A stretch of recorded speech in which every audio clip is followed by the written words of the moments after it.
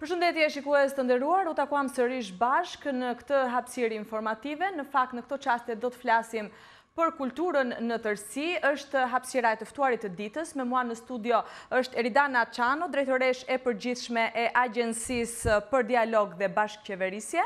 Zonja Çano, mirë se erdhët. Kënaqësi që të ndajmë së bashku.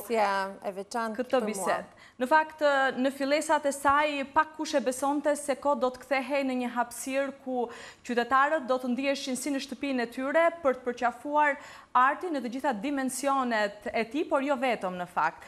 Le të ndalemi tek ngjarjet e ditës që zhvillohen në fakt aty në KOD dhe konkretisht tek një ekspozitë që ka si kryefjalë veprat e një artisti italian, Shumë të njohur dhe në fakt kemi shumë për të treguar.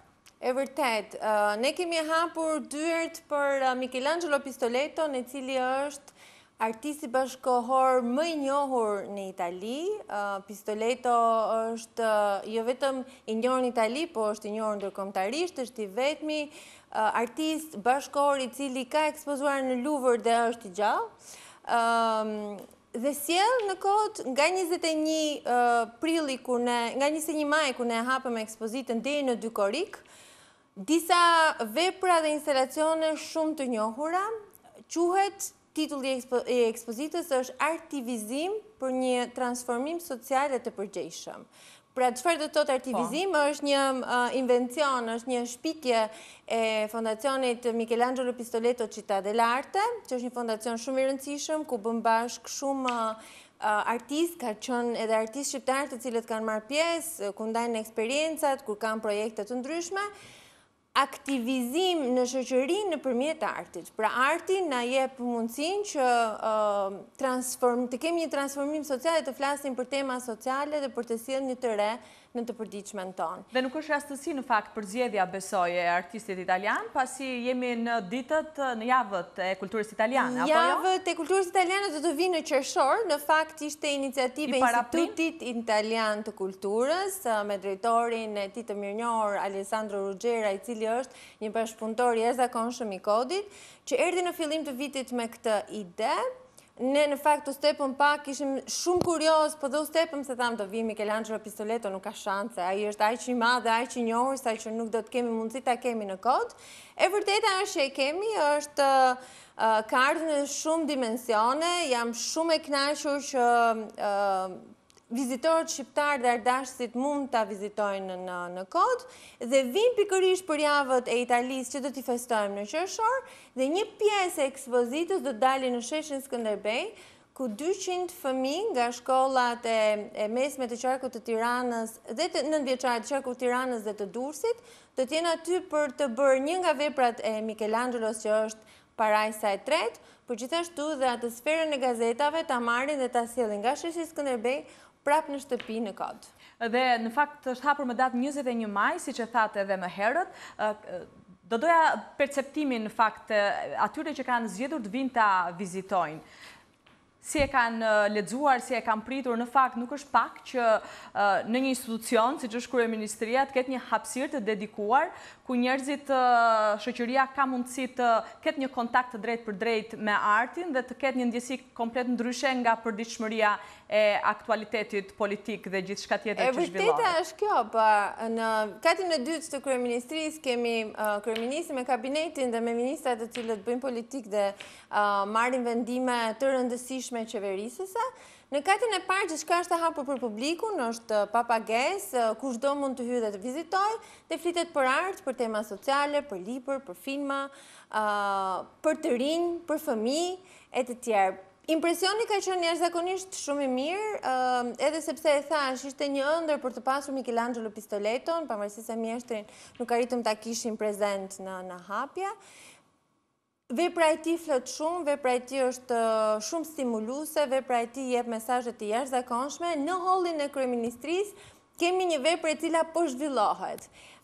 Vetë Michelangelo Pistoleto ka vendosur që të në murin kryesor të vendosë fjalën Love Difference, të duash të ndryshme, një projekt që ai e ka bërë në shumë vende e si edhe në Shqipëri, dhe në atë mur çdo vizitor që vjen duhet të lërë një shenjë të tij, mund të jetë një inicial, mund të jetë një firmë, mund të jetë një pikturim i vogël etj etj, dhe ne po presim që në dy korrik të shohim se si ai muri i famshëm protokollar i kryeministrisë do të jetë i mbushur me impresionet e vizitorëve. Shumë interesante në fakt se duket se në këtë mënyrë të gjithë bëhen aktorë të asaj që zhvillohet aty. Shumë e vërtetë. Në fakt ngjarjet që vijnë në COD janë njëra pas tjetrës, ka një vëmendje në disa sektorë, po e cilësoj si të tillë, në vëmendje janë të rinjtë, janë tema me interes social, me impakt në shoqëri e kështu me radhë, unë do të ndalesha tek njëra prej tyre, që në fakt është zhvilluar sot mos gaboj në kod dhe bëhet fjalë për një hapësirë dedikuar gjuhës shqipe. Keni pasur të ftuar profesoreshë Anila Omarin? E vërtet, po. Dhe kjo vjen edhe në kuadër të vitit që është shpallur për... Nga Ministria e Arsimit, po. E vërtetë. Ne kemi, pra, çdo vit kodi ka një kalendar të përcaktuar në bazë të të gjithë sektorëve që ai përmban, siç është sektori multimedia, i cili ka ekspozita, filmin po dhe tinguj në kod. Kemi sektorin e librit, promovimit të librit dhe krijimtarisë. Kemi pastaj edhe sektorin rinor. Të gjithë sektorët vijnë me aktivitete brenda një qëllimi më të gjerë. Gjuha në bashkëkohësi është njëra prej tyre, e cila i takon sektorit të librit dhe krijimtarisë së librit, dhe flasim në një forum të gjerë, me shkencëtarë, le të themi të gjuhës shqipe, autorë librash, tekstesh, Për sfidat që ka gjuha shqipe në kohët moderne. Dhe, në fakt, ajo që e bën akoma më interesante është se duket se vizitorët më të shumtë në kod janë të rinjtë. Në njëfarë mënyre, i shërben edhe një ure komunikimi ndër breza, pse jo, për tema të cilat kanë rëndësi Për të shkuarën, por edhe për të ardhmen. Në kod, në fakt, të rinjtë janë shumë mirë të përfaqësuar, kemi një masivitet përfaqësimi nga ana e tyre, si nga shkollat nëntëvjeçare, ne themi gjithmonë tetëvjeçare, për këtë gabim, nëntëvjeçare, të mesme, universitetet, por neve në kod kemi nga një vjeç deri njëqind e një vjeç. Të gjithë vijnë në kod, Studentët janë të angazhuar në një aktivitet që ne e kemi shumë të rëndësishëm që quhet të rinjtë dhe negociatat me BE-në në aktivitete dhe evente të ndryshme përgjatë muajve ne diskutojmë me përfaqësues dhe profesionistë të fushës mbi tema të ndryshme apo kapituj të ndryshëm të BE-së për t'i aftësuar të rinjtë që të dinë se çfarë është, çfarë na pret, pra çfarë është integrimi, çfarë do të thotë anëtarësim, cilat janë sfidat dhe çfarë duhet të përmbushë Shqipëria në mënyrë që të quhet të jetë brenda kuadrit të Shqipërisë europiane. Po ceka pak edhe fëmijët. Pra nga një vjeç e më tutje ne i hapim dyert një herë në muaj në kod, me atë që ne quajmë e shtuna në kod. Pra duem që një të shtunë me fëmijët, prindër dhe fëmijë vijnë për t'u rikrijuar në një hapësirë që është komplet ndryshe, nuk është shpia, nuk është një lulishte, po ju japim mundësinë të shofin filma vizatimorë, të vizatojnë, të vizitojnë ekspozitën, të jenë pjesë e ekspozitës, Së fundmi kemi pasur një bashkëpunim të jashtëzakonshëm me Teatrin e Kukullave, kemi pasur Borëbardha dhe Shtatë Xhuxhat, e luajtur mjeshtërisht nga njëra prej anëtareve të Teatrit të Kukullave, dhe fëmijët kishin një gaz e një hare të paimagjinueshme. Do të vijmë sigurisht edhe me aktivitete të tjera, dhe ne i kemi fëmijët pjesë të vizitave në ekspozitat që ne bëjmë. Kemi pasur më përpara një projekt që quhej Edukim Arti në Kod, e bënim me zysh Suzana Varvaricën, do ta vazhdojmë sërisht, ku fëmijët vijnë dhe jo vetëm mësojnë për piktorin apo për artistin i cili ka ekspozuar, po mësojnë dhe teknikën se si mund të pikturojnë. Janë fëmijë që vijnë nga shkollat e kryeqytetit. Të ndryshme, nga shkollat e kryeqytetit, nga periferia, të mes, të private dhe publike. Po në fakt, kod nuk është një hapësirë që ka në vëmendje thjesht atë që zhvillohet në kryeqytet dhe për kryeqytetin. Një tjetër projekt që zhvillohet është kinemaja në rajon. Po. E vërtetë, kinemaja në rajone është një nga aktivitetet që ne zhvillojmë në katër rajone ku kodi tashmë është prezent nga fillimi i vitit. Ne e kemi kodin në Korçë, Shkodër, Vlorë dhe Gjirokastër. Një copëz të kodit jemi përpjekur që ta shpërndajmë në të katër cepat e Shqipërisë. Kemi pasur interes shumë të lartë nga vizitorë të ndryshëm, nga i gjithë territori, Kanë thënë ua sa bukur, si s'na i sillni neve këto ekspozita, duhet të vijmë deri në Tiranë për t'i parë, apo shofim interes tek aktivitetet që ju kryeni me librin, me promovimet e librave, apo me personazhet që kemi personazhe në fokus, pse s'e bëjmë dhe këtë, si t'i arrijmë t'i shohim këto aktivitete, kështu që ne patëm idenë me strukturën e re të Agjencisë për Dialog dhe Bashkëqeverisje, që kodin ta shtrijmë dhe në rajone. Dhe kinemaja në rajone është pikërisht filmat të cilët shfaqen në kod, artistë të rinj, dhe të cilët janë premtues, regjisorë, me filmat e tyre, ne i shfaqim në hapësirat kinematografike të qyteteve kur nuk kemi mundësinë nëpër sallat e mundshme që ne kemi atje. Kemi katër koordinatorë të jashtëzakonshëm të cilët punojnë ngushtësisht me ne vijnë nga secili qark praktikisht dhe tani kanë një detyrë shumë të rëndësishme. Detyra e rëndësishme e tyre është që përveç këtyre aktiviteteve që ne replikojmë nga Tirana, ata duhet të vijnë me ide interesante që përfaqësojnë qarkun e tyre dhe vetëm thjesht bashkinë uh, përkatëse, po edhe gjithë qarkun dhe uh, bashkitë e tjera. Pra, duket se po zgjerohet, domethënë është një një përpjekje që shtrihet gjithnjë e më shumë dhe përfshin ë uh, Përtej kryeqytetit, pra edhe rajonet.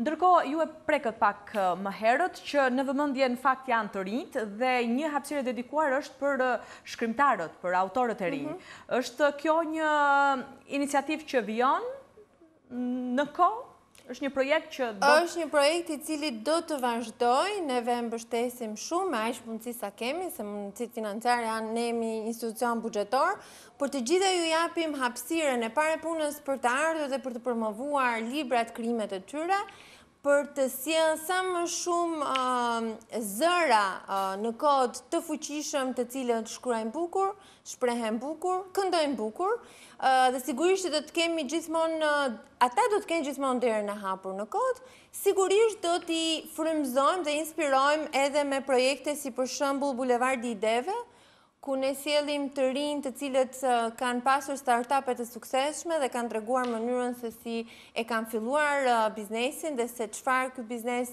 i ka treguar dhe si është zhvilluar. Me personazhet në fokus të rinjtë ndërveprojnë me ata të cilët kanë kanë krijuar ose kanë dhënë në, në, në sferën shoqërore shqiptare, kemi Media Project, ku të rinjtë vijnë dhe flasin me gazetarë të rëndësishëm, të cilët kanë bërë karrierë dhe kanë dhënë kontributin e tyre në median shqiptare, një sfidë e jashtëzakonshme, besoj ju jeni e dini më mirë se sa unë këtë pjesë. Në fakt, ajo që është interesante është se të rinjtë vijnë aty jo vetëm për të shijuar çfarë zhvillohet në kod, por janë në një farë mënyre edhe aktorë, e kam fjalën këtu për nisma të tilla siç është ditët e Naimit, ku pjesëmarrës në fakt janë shkolla me aktivitete të ndryshme. Pra është kjo një përpjekje për t'i përfshirë, si të thuash, edhe qytetarët në atë që zhvillohet aty? Po, patjetër. Ne përveç ideve që krijojmë ne si kod, pra detyra jonë parësore për të pasur sa më shumë idera inovative dhe për t'i sjellë të rinjtë apo dhe moshat e tjera në kod, Të njëjtën gjë bëjmë dhe marrim idera prej tyre kurdo na vijnë dhe kurdo ato janë duan të bëhen pjesë e kodit.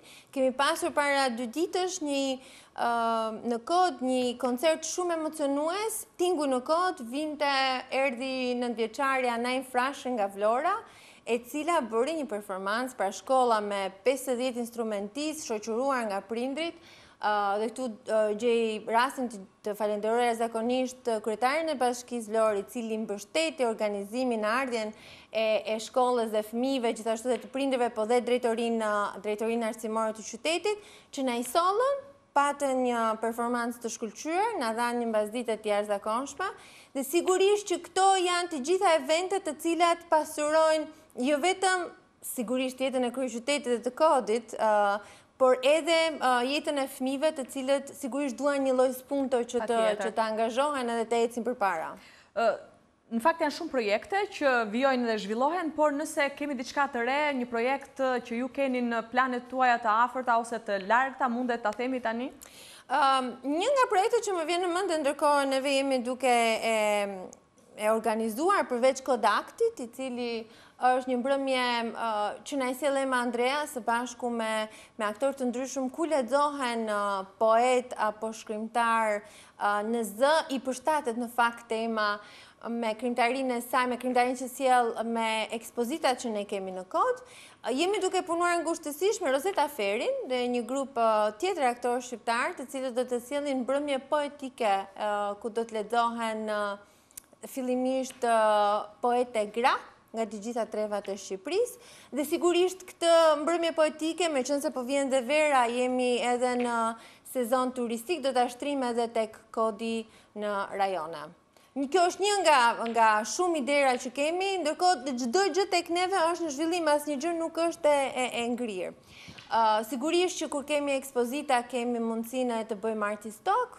Uh, aktualisht do të kemi një në 13 qershor me uh, nënkryetaren e bashkisë Frida Pashako dhe Drian Zeneli, një artist shumë i, i njohur bashkëkohor shqiptar, ku do të flasim për veprat e Michelangelo Pistoletos. Dhe për ta kujtuar, do të qëndrojë ekspozita e hapur deri në korrik? Dy korrik. Dhe neve i presim të gjithë para dite nga ora 9.30 deri në orën 2 të drekës dhe pasdite 5.30 deri në 8.30 dhe vetëm të shtunave kemi këtë momentin e mbasdites që mos i lodhim, po t'i japim mundësi që në shëtitjen e mbasdites të kalojnë në kod. Mirë, Zonja Qanë, shumë faleminderit për këtë bisedë, kënaqësi. Kënaqësi gjithashtu.